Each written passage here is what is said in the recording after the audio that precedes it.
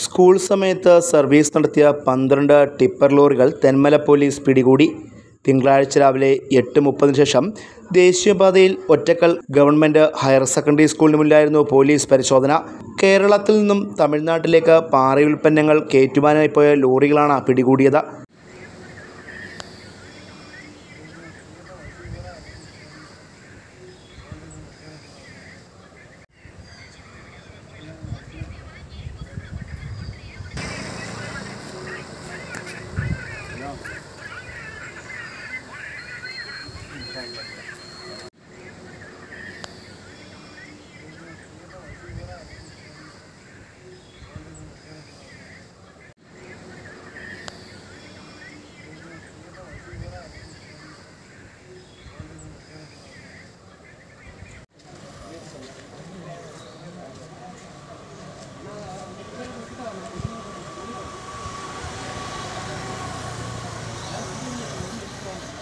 തമിഴ്നാട്ടിൽ നിന്നും ഇതുവഴി വരുന്ന ടിപ്പറടക്കമുള്ള വാഹനങ്ങൾ രാവിലെയും വൈകിട്ടും സ്കൂൾ സമയങ്ങളിൽ ചീറിപ്പായുന്ന അപകട ഭീഷണി ഉയർത്തുന്നുണ്ട്.